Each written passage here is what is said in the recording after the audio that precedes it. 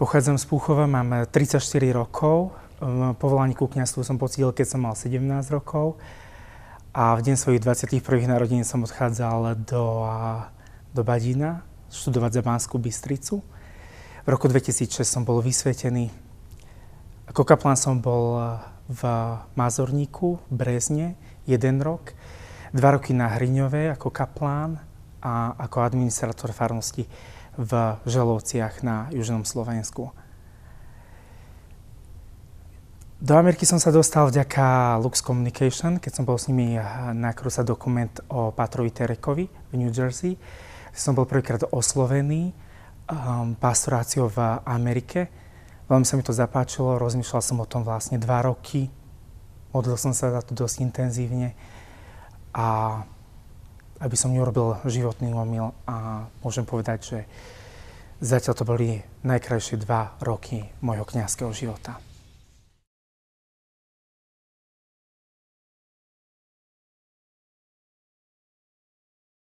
Už dva roky pôsobím ako kaplán v Slovenskom katolickom kostole Sv. Cyrila a Metoda pri Detroite. Nachádzame sa na 18. míli v štáte Michigan, v meste Sterling Heights.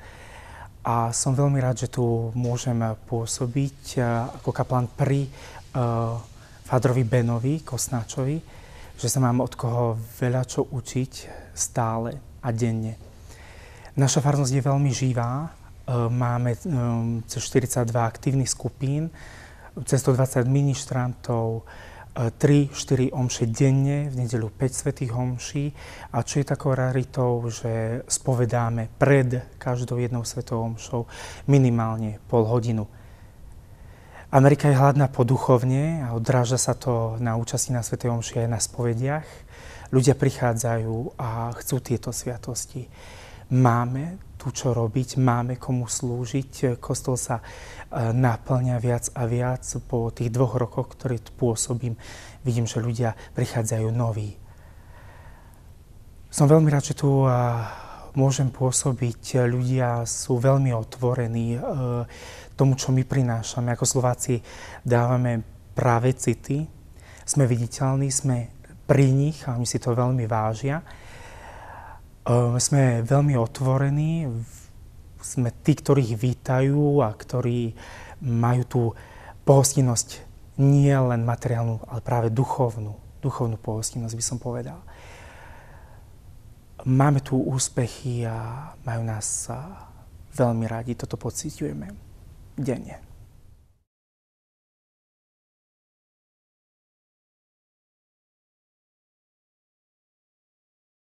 Keď som sem odchádzal pred dvoma rokmi od eh, jednej mojej dobrej eh, priateľky, dostal som magnetku na latničku a bolo tam eh, napísané vo svete, v ktorom môžeš byť čímkoľvek, buď sám sebou. Nie je to z Evanielia, ale veľmi sa mi to páči.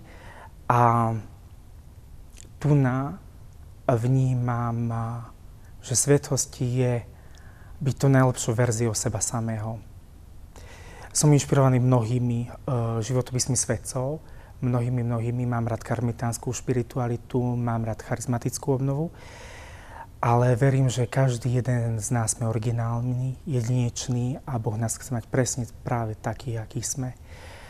Preto vystihujem jedinečnosť každého jedného z nás a v Evaníliu nachádzam znova a znova veci, že Boh nás pozná presne takých, aký sme, pred ním nič nezahráme a vidím, že toto má odozvu u mnohých ľudí. Tento svet nás eh, nutí nosiť masky a Boh nás vyzýva, neustále nás volá k tomu, aby sme odložili všetky masky, boli takými, akí sme a stali sa svetými. Toto je to, čo ohlasujem a čo ma, čo ma naplňa denodenne.